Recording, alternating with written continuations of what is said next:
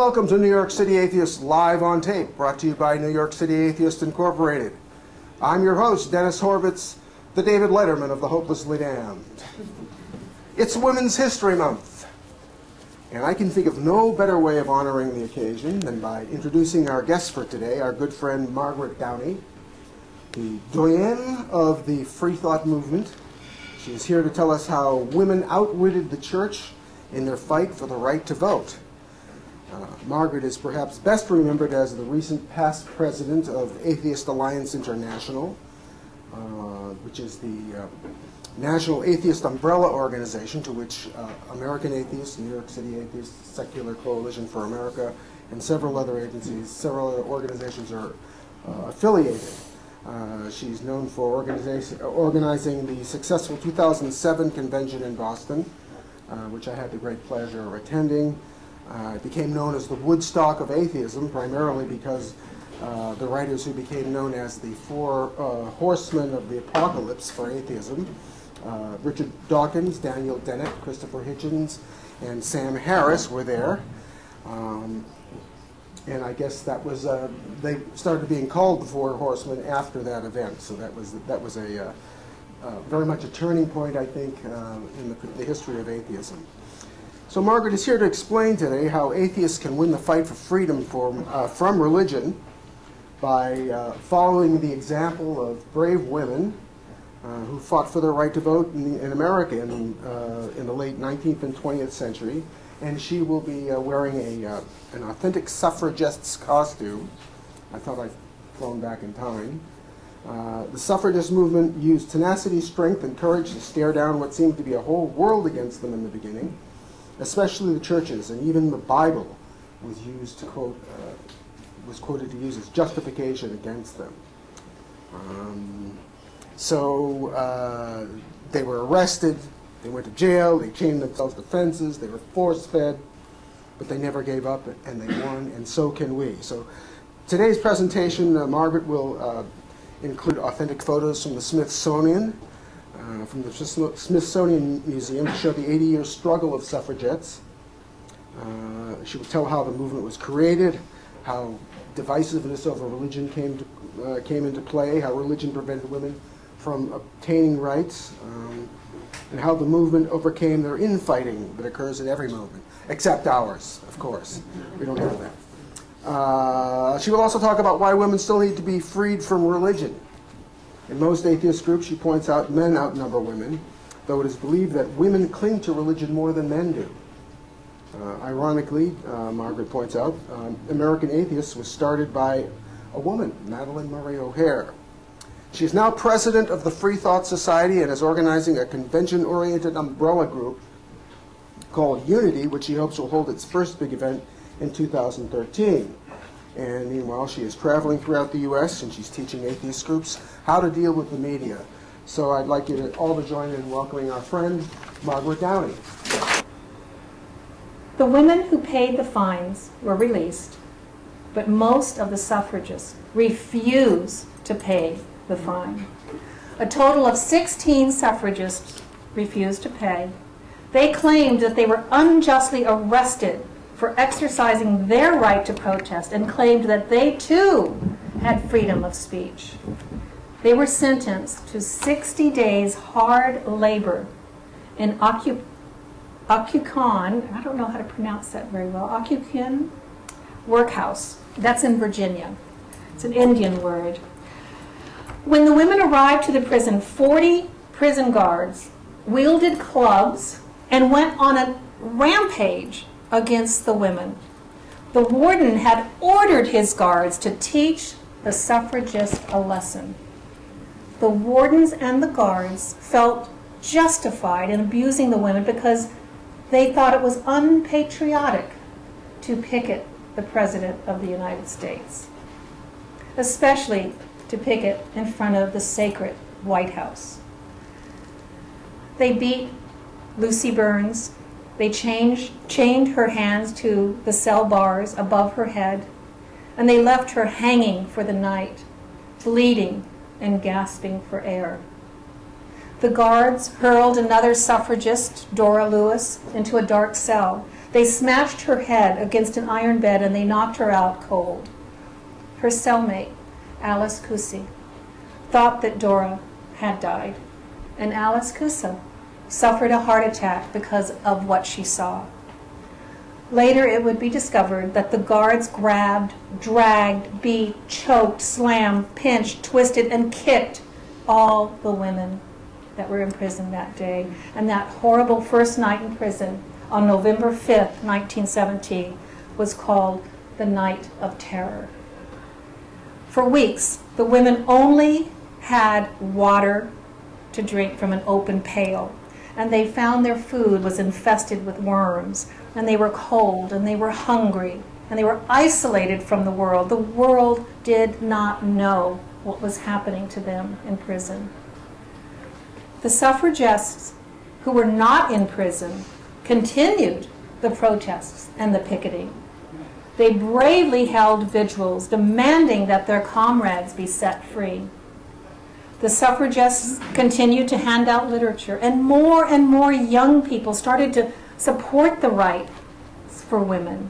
The suffragists would not be silenced and would not be forced away from protest efforts taking place in front of the White House, even though it was a time of war. Suffragists and leader Alice Paul had not been arrested on November 5th in 1919. She decided to do something drastic. She printed what President Woodrow Wilson's words on paper, and then she burned them in a pot that the suffragists who picketed in front of the White House used to keep warm. That action was thought to be overtly unpatriotic, and it caused another riot in front of the White House. And during that riot, Alice Paul was arrested for obstructing traffic.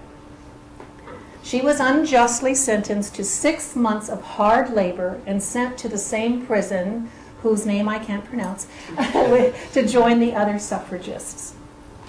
After seeing the mistreatment of her sister suffragists, Alice Paul called for a hunger strike. The jailers were concerned that word would get out that the suffragists that were in prison were dying of malnutrition. So they devised a very terrible way in order to feed the, the women. And what they did was they forced fed. And in order to determine when the stomach was full, the jailers fed the women until regurgitation actually took place. And liquid, such as raw eggs, was poured down a tube until the stomach was full. And when the stomach was full, that's when you knew to stop. The women were tortured. They were tortured for weeks with this forced feeding. Because when the lips became damaged by the forced feeding through the mouth, the tube was placed inside the nose. And then when the nose was damaged, it would go back to the mouth. The tube caused tremendous damage to the throat, the esophagus, and the stomach. And forced feeding is torture. It did not help matters when the suffragists who did not approve of picketing the White House during wartime started calling themselves the law abiding suffragists. It made it seem like the suffragists in prison actually deserved to be there. So, do you see how important it is for everyone concerned to be aware of mistreatment especially for those who are fighting for your same cause. Finally, Alice Paul was able to smuggle a message to the press. This mistreatment and the forced feeding were finally highlighted in the Washington Post. So finally, the world discovered what was happening to the suffragists in prison. The public outrage over the mistreatment pushed the district court to overturn all of the sentences. The arrests were deemed invalid, and in total, 200 suffragists had served time for obstructing uh, traffic. Even though the subject was very serious, some cartoonists made light of the situation. And on the screen, you see a very rare cartoon showing a fat suffragist in prison refusing to eat. So when she loses all her weight by refusing to eat, she can fit in between the prison bars and go escape and return to fighting for women's rights. The ratification banner was beautiful. It had rows of stars and the colors of the golden, yellow, white, and purple, which was adopted by the suffragists back in the early 1900s. President Wilson finally addressed the Senate in 1920 and announced his support for giving women the right to vote. The Tennessee vote to ratify the 19th Amendment hinged on one vote of the 24 year old state senator by the name of Harry Burn. Now, he had originally voted against the ratification. Senator Burn changed his vote after his mother urged him to do so in a telegraph, uh, telegram message, which was delivered to him just minutes before the final vote was cast. And her message said, Would you deny your mother the right to vote. Even after his vote, anti suffragist rallies were held, and anti suffrage state legislators actually left the state so that the legislative quorum could not be achieved. But the Tennessee ratification had met the 36 states, and the constitutional amendment was finally ratified. On, on August 18, 1920, Alice Paul, national chairman of the Women's Party, received the greatest news via telephone. The 19th Amendment, just as Elizabeth Cady Stanton wrote it in 1848, was finally approved by Congress and signed by President Woodrow Wilson.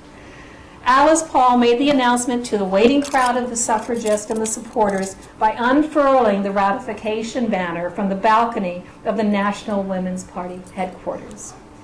The women marched in the streets of Washington, D.C. With the banner, and soon celebrations spread all over the country.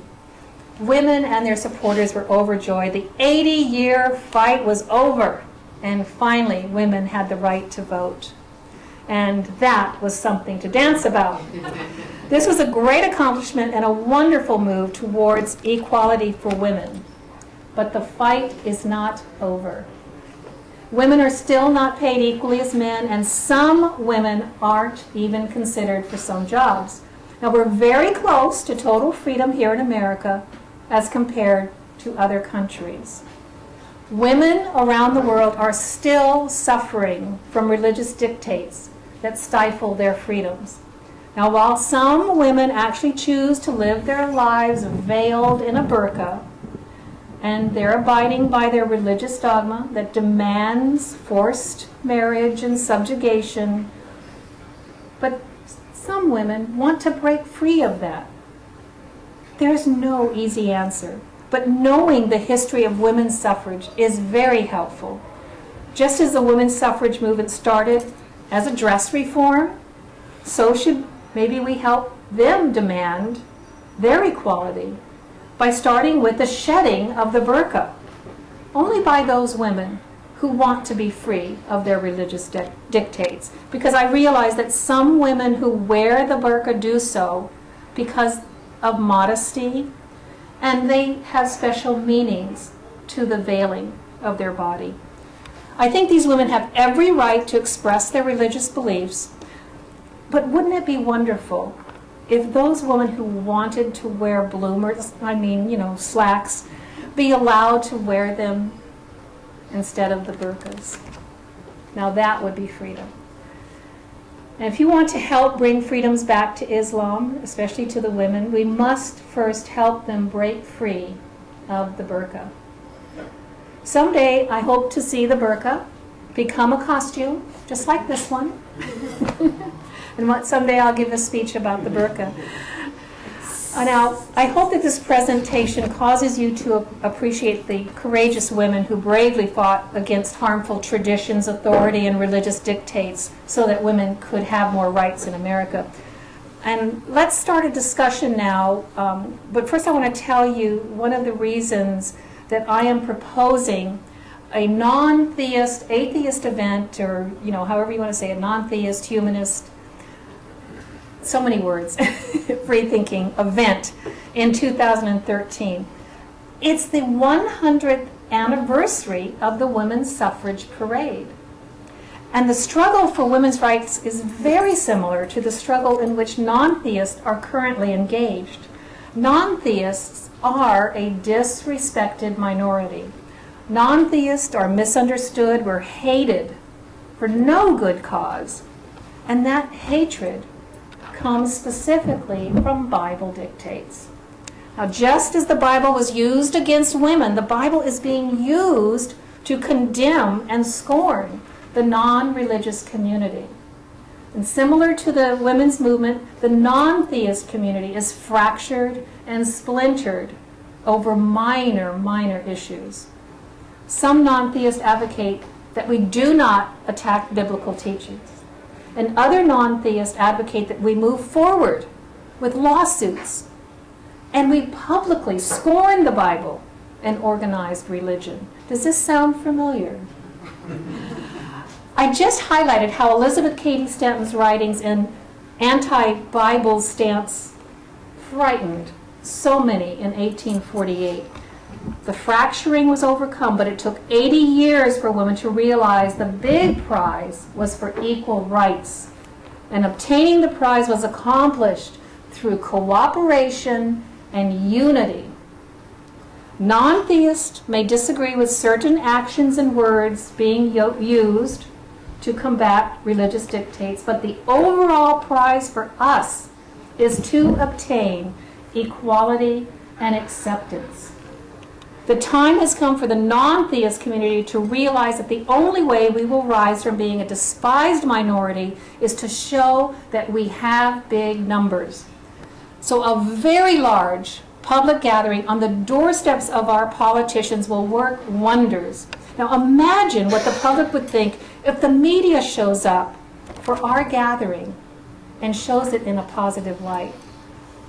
Now, we have an opportunity to plan for a 2013 event which will gather together the members of all national groups a 2013 Unity Event Committee has been formed, and we're bantering around ideas on a chat group in Yahoo and on Facebook. The committee is trying to problem solve, and believe me, we have some major problems to solve. But please become a friend on Facebook and send me your ideas and suggestions. Don't blame the sin, blame the sinner. So, you know, it's up to the uh, people who interpret the Bible to interpret it with a, a, a better heart and, and less, uh, less uh, prejudice and bigotry. You can't misinterpret most of the Bible passages that tell um, that you know uh, non-believers are like sticks that be, should be thrown in the fire. You know, is is that a dictate that you could take metaphorically? You know, what is the fire? What, what does that stick mean? no, it means that, you know, we're not wanted, we're not appreciated, we should be burned. Uh, and, you know, non-believers going to hell, and infidels, and, and heathens, you know. Um, I think you should blame the Bible. I really do. Uh, and the followers. And their followers are very dangerous. I just told my husband uh, a couple of days ago that I decided I have a new speech idea. It'll be my Halloween speech, and it's going to take a cult, a very scary cult, and I'm going to learn all about that cult, and I'm going to present it on Halloween because that's the scariest thing I can think of. Is a religious cult. Sorry for having so many questions. Why, why do you think Utah was one of the states that gave women the right to vote? Because this is that, that, that surprised me because they're, even today I saw uh, an ACLU uh, note saying that th this woman had killed her, they were trying to kill her, uh, abort her, her uh, baby, you know, and uh, and she was thrown in jail or something because because she tried to do that uh, by, by hitting herself or having Yeah, I someone remember push that. or something. Mhm. And that, That's so, I mean, they- those, those people are bizarre when it comes to women's rights. I don't, I don't understand. Yeah, I'm not um, a scholar, um, so it would be interesting to go on the internet and, and actually dissect, you know, how this happened in each, in each state. Um, by the way, uh, the book that inspired me to do this, oh, the projector's on it. I was going to hold it up. um, is Annie Laurie's book. Um, and if you're so inclined to get it, it's a huge book. It's all about um, no gods, no masters, women without superstition. And it's very well written. There's some flyers here about how to order it from the Freedom from Religion Foundation. So while you're telling them, please do the 2013 Unity event, you can order a book. it's uh, $25. But it's very well written, and you'll get to learn a lot more detail about many women who were in the movement that made it work. That's what I, Why did they always dress in white? I mean, that's virginity, right? Well, you know, um, it's, it was a, a way to stand out because women had been told to wear dark clothing for a very long time. And this was a, a way of being bright and open and, and almost, um, they, they tried to make women, if you notice in some of the pictures, women almost had this uh, goddess look to them during that parade. And they focused on the fact that, you know, we are, we, we, you like to look at us, but give us the right to vote, you know. And I think that, that theme of that Grecian theme went through that entire parade. Do you have a question? well, first, uh, I would posit a possible reason why the western states tended to be a little more uh, quick to give the vote, having lived in Colorado most of my life. Um, the, there's, first of all, you have a much more sparse population, and women had to be far more self-reliant out there than they did here in the east. Because you had, you know, loads of space, and, and if you've ever worked on a farm or anything like that, you know that women are not just sitting in the house. They are like all over the place, and they work as hard as men point. So, you know, I suspect that in the West, it just made more sense. You know, they could, they could, they had to acknowledge what women were doing, much more so than here. Um, now, my, my question, my question to you is, um, the, the thing with the Bloomer uh, lady, uh, Ms. Bloomer, um, I'm just curious as to how much biblical wrath she got, because, you know, in the Old Testament, it's like, women shall not wear Oh, men's clothing is outlined, you know, yes. so I mean, talk about it. I mean, it's a direct religious statement. It's not. That's a biblical statement about why you can't. And I'm, you know, it's kind of interesting. How did she get over that hurdle? How did they? How did they basically compartmentalize and ignore a piece of the Bible?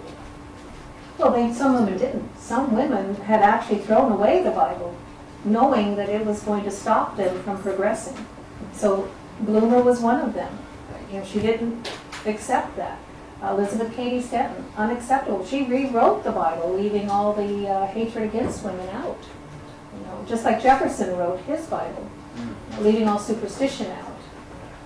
Margaret, the states that gave women the right to vote before 1920, did they allow them to vote in federal elections as well, or just the state and local rights? State, yeah, yeah. And, and like I said, some of them, it was only like for schools. So they were very, you know, given certain abilities, which they thought, the poor little girl probably couldn't think any further than the school election. Well, she has a she has a direct connection to the kid in the school, Right. whereas everything else, what does she know about land? Yeah. Um, the other thing that, uh, if you don't have any of these, um, this is provided by the Freedom from Religion Foundation. Uh, I get them for free because I'm good friends with them. Uh, it's Why Women Need Freedom from Religion, just a track that condenses it very quickly, and um, you might want to just pick some of these up, have them available if you have um, some need to distribute them somewhere. I want a whole bunch of them. Uh, I could probably give you a bunch. So it's a very good little booklet. Yes, I find it very interesting that every woman in this room is wearing slacks except for you. And it's a costume. So those bloomers really took on You know, I almost lost my job. I worked for an insurance company, and they did not allow women to wear slacks to work. And I um, was one of the first to show up for work wearing slacks, and they sent me home. And the next day I came and I circulated a petition that women should be able to wear slacks. They confiscated the petition and I almost got fired that day. So I kept coming back and coming back, wearing, you know, daring them to fire me. Um, and uh, one time I was called into the office of my superior, and he, and I had on a beautiful pantsuit that had the, the jacket came all the way down to my knees, and it just you know tied right here, and I had slacks on. And he said, "You have to go home and take those slacks off." And I said, "I don't think I need to go home and take the slacks off." and I let the slacks drop on the floor in his office, and he was mortified.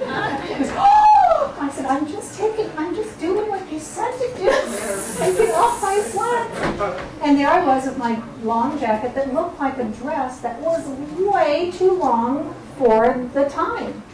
Because that, at that time, they were miniskirts. Now I look ridiculous, you know. And I used to say to people, the reason you won't let the file clerks wear slacks to work is you like it when they bend over and file your files. I get it. So it took about five years, but I got the insurance company to uh, accept slacks. Uh, they didn't fire me. They wanted to fire me later for my anti-smoking position and my demand for personal time with children. And I have good news for you. My husband still works for the same company, and everything I wanted back in the 70s is in place now except for one thing.